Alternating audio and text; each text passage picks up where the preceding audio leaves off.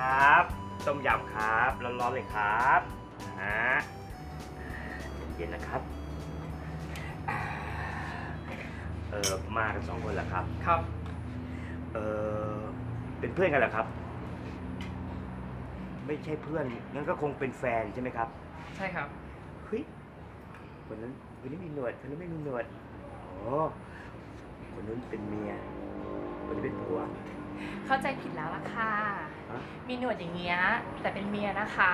อันเนี้ยผัวหนูเองค่ะ เหรออุ๊ยอันนี้ผัว อันนี้เมีย เฮ้ยเรียกคาราบาว เป็นไปได้ไงเนี่ยอืมลุง นี่อะไรเนี่ย เออต้มยำเก้งครับ เออถ้าไม่ไม่อร่อยเปลี่ยนเป็นอย่างอื่นได้นะครับ ไม่ต้อง อร่อยมากๆเลยล่ะค่ะ คุณลุง เออเหรอครับ ใช่แล้วล่ะค่ะ เอาอย่างนี้ได้ไหมคะ งั้นขอสั่งเพิ่มใส่ถุงสองถุงค่ะ สั่งกลับบ้านสองถุง ใช่แล้ว สั่งไปเผื่อหมาเหรอครับคุณลุงก็พูดไป จะเอาไปฝากเจ้านายฉันค่ะ